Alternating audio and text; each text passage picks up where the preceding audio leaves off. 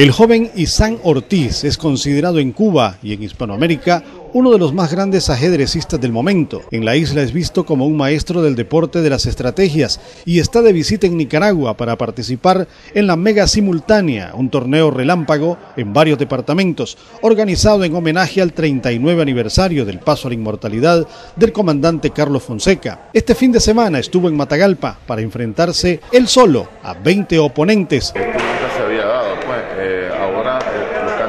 Están dando en la Federación eh, Nacional de Ajedrez, con el apoyo del gobierno incondicional. En menos de media hora, el joven campeón nacional de ajedrez de Cuba fue resolviendo cada una de las partidas de manera simultánea. Algunos sucumbieron con rapidez ante los movimientos del maestro que parecía estar compitiendo en un solo tablero. Una cosa que tengo que resaltar es lo que me gustó, es que habían bastantes niñas. Incluso una eh, quedó tabla con el maestro. El ajedrez sea para, para los niños un- una razón de ser de sus vidas.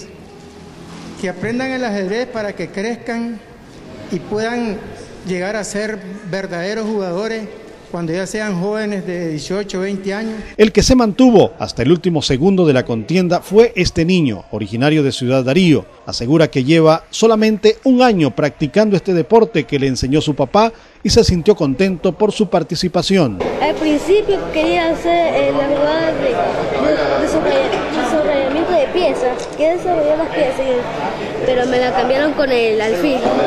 Me sentí nervioso cuando ya ya me cuando me haciendo.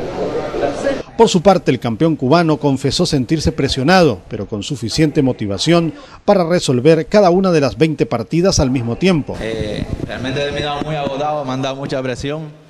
Felicidades a los niños que la verdad eh, han demostrado que tienen cultura de ajedrez y que se juega buen ajedrez aquí en Matagalpa. La Federación de Ajedrez de Matagalpa desde ya está organizando competencias oficiales para niños y para categoría libre. que es el torneo de la Copa de Oro, Copa de Oro departamental. Entonces va a ser una- un torneo abierto, más tecnificado. Con imágenes de Yes TV en Matagalpa, Mario Lanzas, lo que se vive.